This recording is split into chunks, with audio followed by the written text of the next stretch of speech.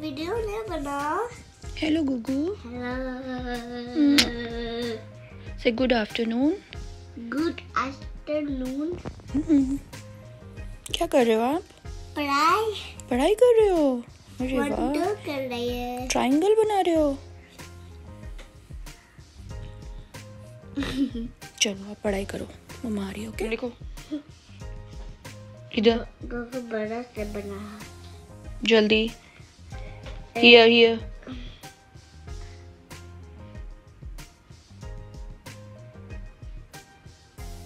Very good. Two. This one.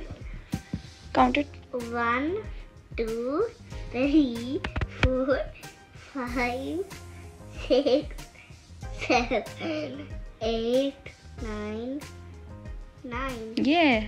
Let go.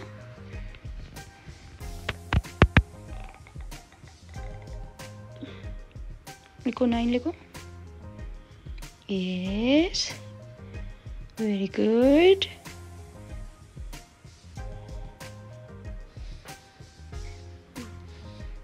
No, no, no, no, no.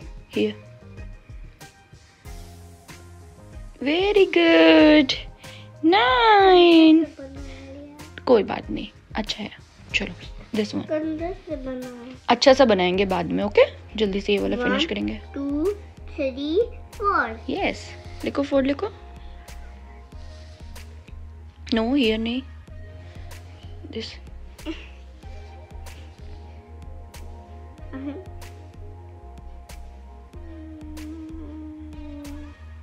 ऐसे हम्म ऐसे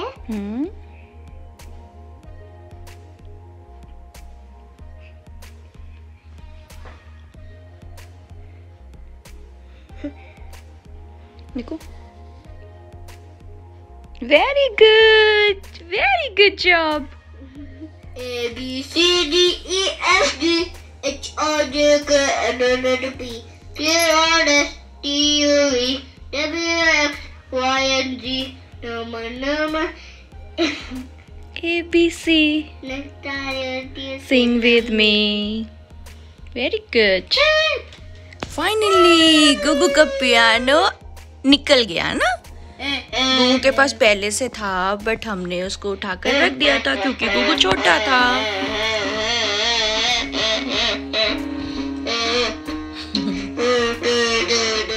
hello guys कैसे हैं आप सब?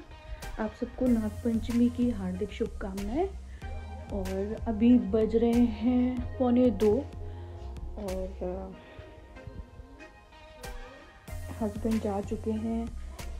ऑफ़िस लंच करके आधे घंटे के लिए आते हैं तो लंच करके चले जाते हैं। और आज तो कुछ ऐसा लंच नहीं था, क्योंकि उनका फास्ट था ट्यूसडे था।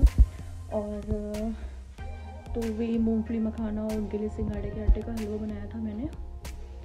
तो वो खा कर गए हैं और जूस बना दिया था। तो वही खा कर गए हैं।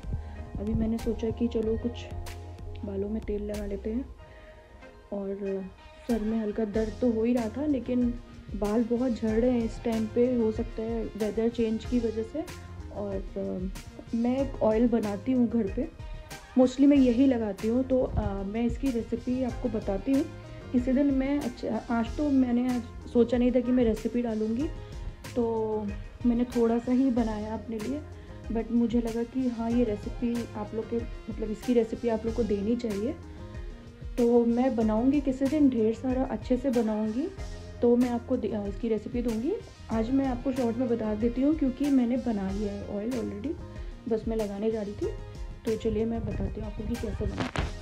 मैं मोस्टली मस्टर्ड ऑयल ही लगाती हूँ अपने बालों में। मस्टर्ड ऑयल ही लगाती हूँ और कोई भी ऑयल नहीं लगाती। तो इसमें मैंने प्याज लिया है और मंगरेल होता है, कलौंजी, वो लिया है और मेथी दाना लिया है। अगर आपको आंवला मिल जाए तो आप आंवला भी डाल सकते हो इसमें। और इसको पकाना है बहुत अच्छी तरह से इसको पकाना है। और धीमी आँच पे पकाना है ये मैंने छोटा बर्तन ले लिया था तो इससे ना बॉईल होके बार बार वो गिर रहा था नीचे। तो आप थोड़ा बड़ा बर्तन लेना किसी दिन मैं इसकी रेसिपी पूरी दूँगी। आज तो मैंने बना लिया है तो मैं अब दिखा नहीं सकती फिर से कि मैंने क्या किया है। बट लिया मैंने कलौजी प्याज और मेथी को लिया है और तीनों को मस्टर्ड ऑयल में अच्छे से पकने दिया है धीमी आँच पे। आधे घंटे तो ये पका होगा। आधे घंटे ये पका होगा तो अभी इसको मैं छान के, ठंडा हो जाने के बाद इसको मैं लगा लूँगी स्कैल्प पे, अच्छे से लगाना है। तो इससे आपके बाल झड़ेंगे भी नहीं, और जो बाल वाइट हो रहे होंगे, वो भी ब्लैक निकलने लग जाएँगे। तो आप एक बार ट्राई करो, मैं तो हमेशा यही लगाती हूँ, और मुझे इससे काफ़ी फ़ायदा मिलता है न्यू ग्रोथ आती है। तो चलिए मैं लगा लेती हूँ, फिर मैं मिलती हूँ।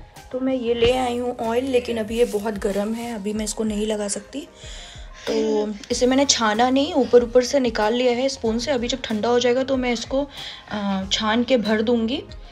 किसी शीशी या बॉटल में भर दूँगी। तो चलती हूँ, मैं इसको लगा लेती हूँ और बस। सो गाइस मेरी ऑयलिंग डन हो गई है। और अच्छे से मैंने पूरे बालों में तेल लगा लिया है। बहुत अच्छा लगता है ऑयल लगा के भी। तो मैं एक और चीज़ बोलना चाहती हूँ कि जैसे लोग होते हैं कि वो क्या करते हैं तीन बाल धोते हैं वॉश करते हैं और दो तीन दिन बाद जब उन्हें फिर से वॉश करना होता है तब वो ऑयलिंग करते हैं तो ऐसा बिल्कुल मत करिए इससे बाल और वीक हो जाते हैं।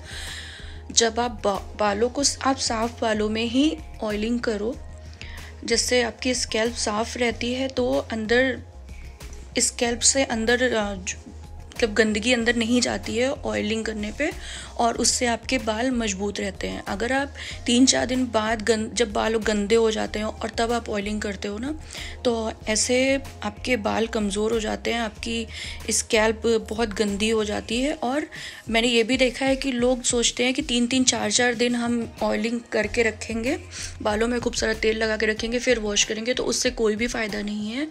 आप रात में लगाओ और सुबह वॉश कर दो या आप सुबह लगाओ रात तक में। मतलब इतना टाइम ही लगाना चाहिए। बहुत ज़्यादा छः सात घंटे ही ऑयल लगाए रखना चाहिए। ये नहीं कि आप दो दो तीन दिन उसका कोई भी फ़ायदा नहीं है। तो यही था।